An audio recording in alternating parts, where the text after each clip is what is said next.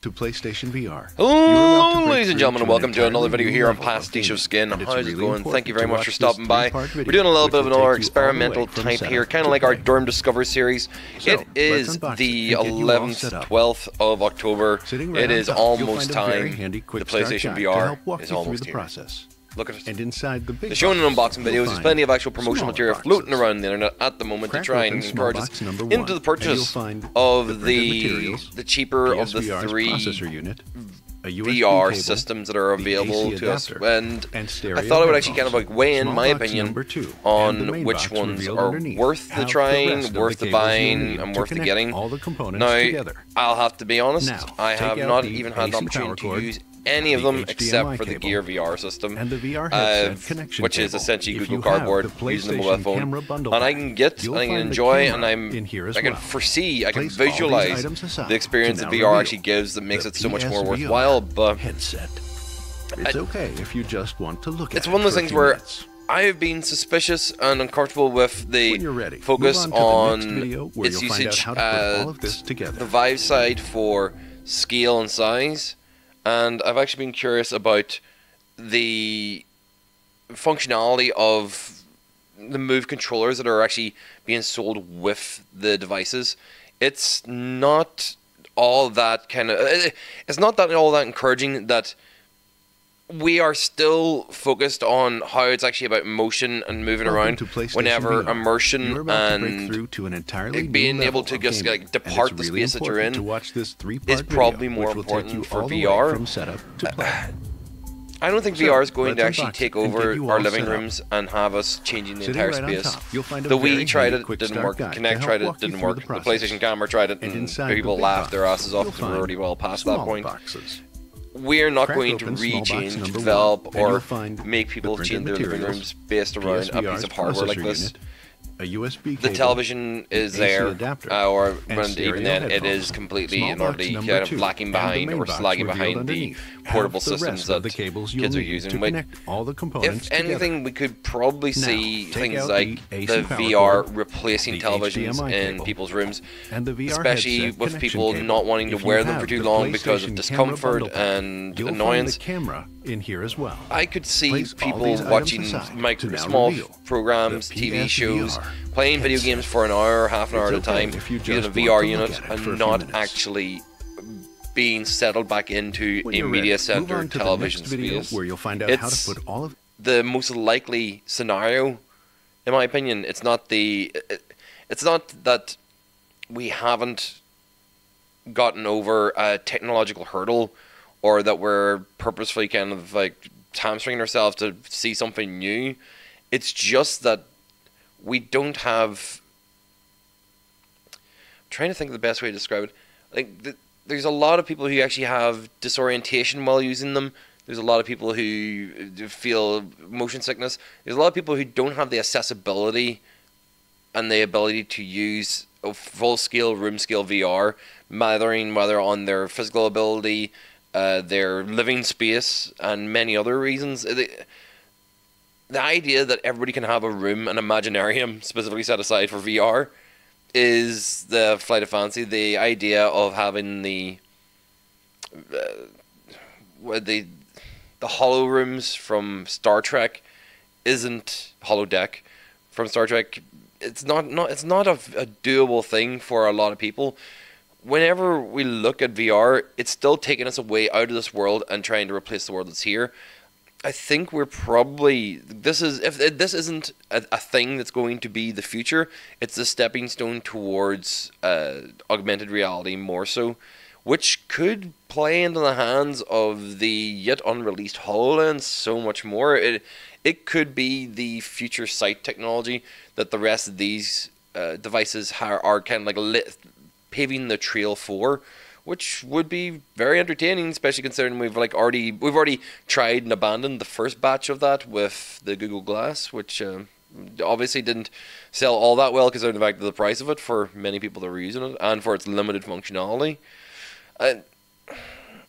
I'm purposefully I'm I'm still teetering on the edge of buying a PlayStation VR for the purpose of doing stuff for this channel because I feel that I could I have the like I have this kind of setup that works reasonably well that I could sit and play PlayStation VR and give you guys a, fi- a copy of the feed that's running through my headset, and it would be a pretty good face cammy kind of reaction.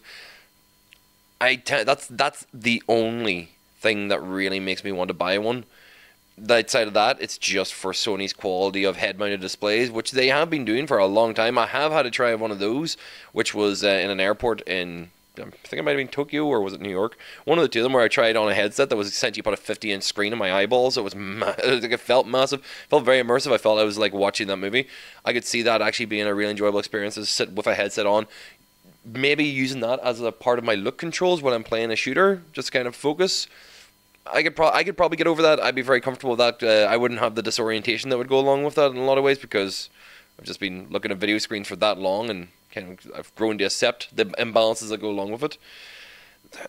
For majority of people, that won't be the case. I, I, I'm not committing to buying anything as of today. I just I, I don't have the disposable funds, which kind of leads me to the thought that most of these devices are really first world problems of the highest order. I mean, the the top end of tech is always like a very top end of I've got the money problem. But unlike uh, mobile phone technology, which is always subsidized by extended costs and rental agreements and line rentals and whatever else, uh, these pieces of hardware are single price purchase, and the other two devices are well beyond the scope of comfortable spending money, unless you have a lot of cash to work with. So PlayStation VR is the only one that's in my mental price range of like I could maybe rationalize the purchase of this if I made use of it, but I I, I don't see it. I really don't see it. I don't. I don't think anybody really is that enthused about PlayStation VR or Vive or Rift that don't already own it, that don't already have guaranteed that they are purchasing it, and that's the problem. It's the same issues that Vive and Oculus are finding that their the market share is slowing. Like their early adopter rates are like they don't they, they should not be running out of early adopters. Although in their cases a lot of it was pre-ordered items. With the PlayStation VR, I'm curious to see how well they can maintain sales whenever other devices are already faltering. So what we're talking 68 months of guaranteed sales and support, then Sony has a habit of dropping shit that just doesn't support them anymore. If anything, I would love to see. I want to know within. I would, if somebody went in and hacked the PlayStation VR, the PlayStation camera, and the Move controllers to work with PC, I'd be very curious because at the price range on a much more open platform could make it a lot more of a, a really interesting tool. I would like to see some of the 3D drawing apps, the VR art apps that exist, using the PlayStation VR. That that that's that's the little kind of like I want to see modeling tools. I want to see Dreams. That's one that I've actually like I've been following the development of by Media Molecule. The guys behind Little Big Big Planet. It's the one that I'm really curious about because I would love to see how those tools kind of like integrate with technology that isn't quite as good as the other 3D systems, but still could very well do this quite well. Um, especially even if I could just start molding clay with a pair of wands in my hand. But um, yeah, guys, this has been just a quick Derm Discovers thinking about PlayStation VR and the other VRs by proxy, considering we're coming up to the release date. Give me your opinions. What do you think? Uh, do you do you think VR is the future, or is it a troubled past coming to meet us again via the method of uh, secretly getting us back to using motion controllers?